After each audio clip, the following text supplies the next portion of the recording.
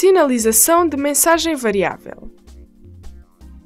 Estes sinais têm por finalidade melhorar a fluidez da circulação e garantir a segurança dos condutores, designadamente nas seguintes situações: perigo decorrente de uma situação que imponha intervenção urgente, interrupção de acesso ou impedimento de circulação no âmbito de medidas temporárias de condicionamento de trânsito, informação sobre as condições de circulação, designadamente perturbações excepcionais e imprevistas, com o objetivo de as melhorar, afetação de vias de trânsito, sinalização turístico-cultural, sinal T1 Região.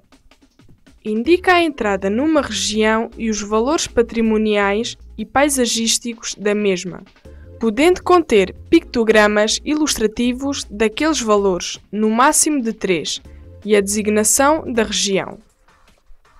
Sinal T2 Património indica um local imóvel ou conjunto de imóveis relevantes sob o ponto de vista cultural.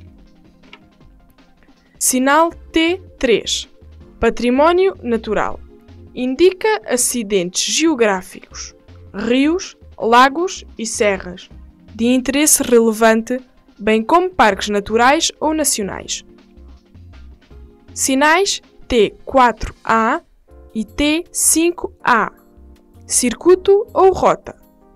Indicam o ponto de entrada no circuito ou início da rota. Estes sinais têm escrito um dos símbolos representados no quadro 21, em anexo, e a designação circuito ou rota. Sinais T4B e T5B. Direção de circuito ou rota.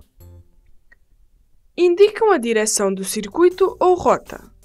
Estes sinais contêm, além do símbolo e inscrições previstos nos sinais T4A e T5A, uma seta, colocado no extremo oposto ao do símbolo. Sinal T6 Localidade indica os motivos de interesse turístico, geográfico ou ecológico e cultural da localidade ou do concelho de que a mesma é sede. Este sinal contém, além da indicação da localidade, os símbolos correspondentes aos motivos assinalados, no máximo de 5, bem como a sua designação. Símbolos